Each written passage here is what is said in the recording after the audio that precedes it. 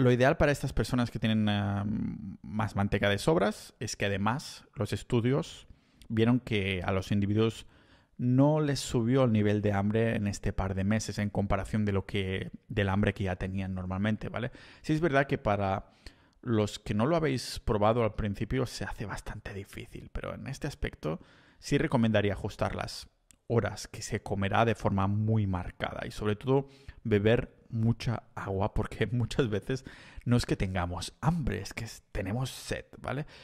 De hecho, la de controlar el apetito es la ventaja más grande, yo creo, del ayuno intermitente, bajo mi opinión. No solo porque lo diga un metaanálisis de 40 estudios sobre el ayuno, pero porque lo digo yo, ¿vale? Porque lo dice este metaanálisis, que concluyó que el ayuno no ayuda más o menos a mejorar la recomposición corporal, sino que sobre todo destaca por este control de, hambre. Y ya te digo, el metaanálisis este era sobre 40 estudios sobre el ayuno.